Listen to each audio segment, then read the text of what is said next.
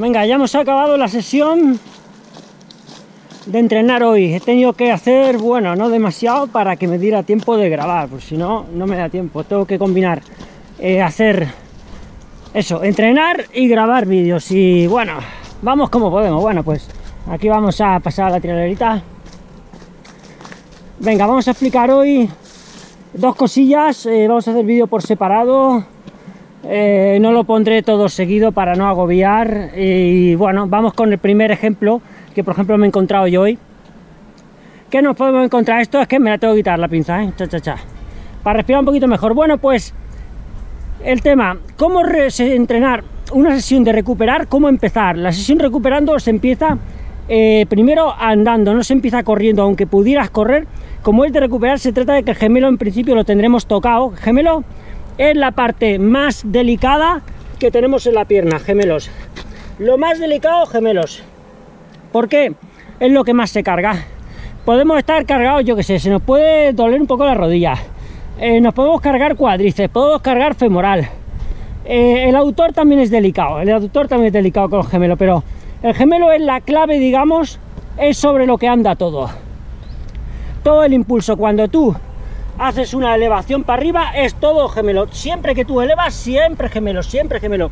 Entonces los otros se usan, pero el que más, el que más rinde, el que más caña le vamos a meter siempre, el gemelo, es la clave. Si tu gemelo aguanta, esa es la clave.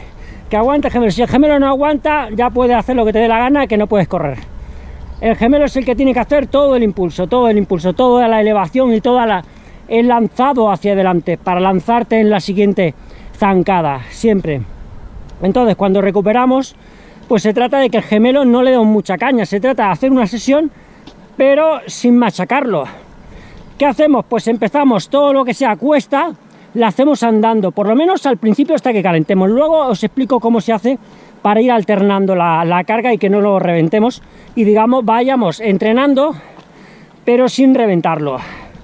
Empezaríamos siempre andando, siempre andando en la sesión, siempre andando, y cuando llevemos ya un ratillo, entonces ya decimos, venga, vamos a correr un poco. Entonces ya, pues bueno, ya podemos ir corriendo un poquito, ¿vale? Ya dándole un poquito.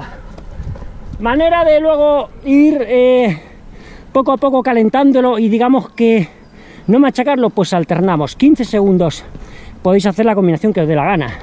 Pero una de 15 segundos va bastante bien. Andamos 15 segundos, 15 segundos andando, no, se aprecia, no llevo muy bien inclinado esto, pero serían 15 segundos y ahora hacemos 15 segundos corriendo.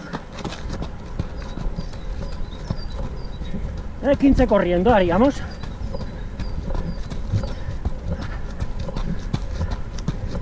Eh, cuando más o menos, más o menos, ¿eh?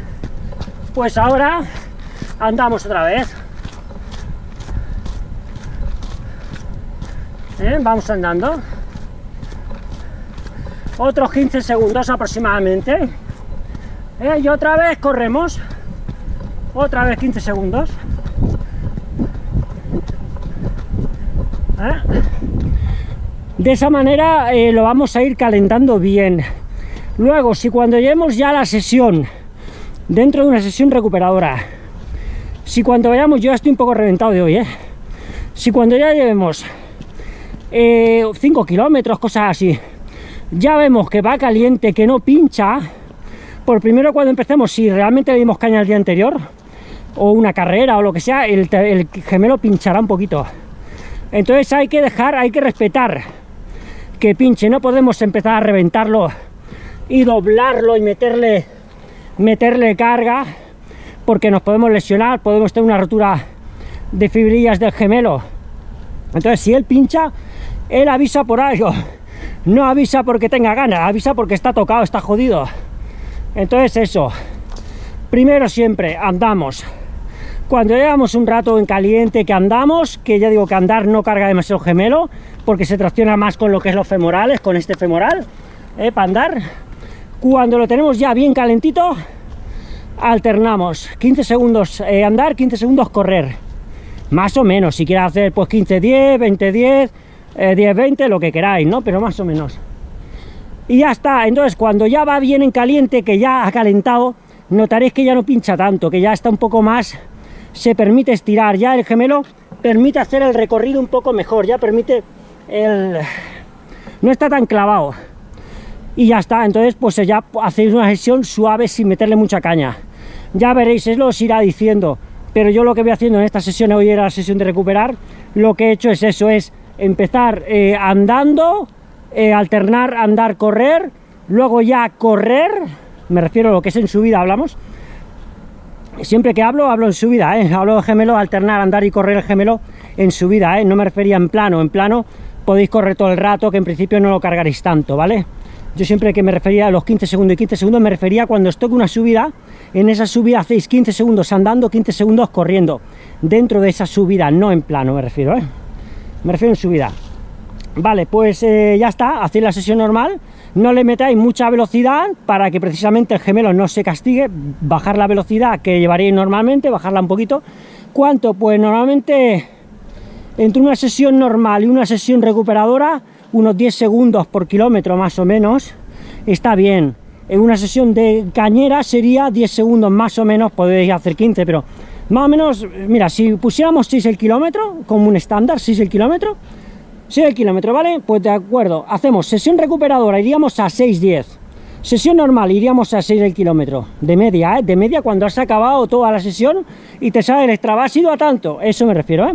Entonces, ya digo, 6.10, sesión recuperadora. 6, sesión normal. 5.50, sesión de darle caña. Y si, por ejemplo, fuera una tirada larga, le ponéis a la sesión... Eh, yo lo uso con mis corredores, ¿eh? Lo uso exactamente así. Ellos, si alguno lo puede decir eh, si por ejemplo la sesión es de tirada larga, se le ponen 10 segundos o 15 segundos extra.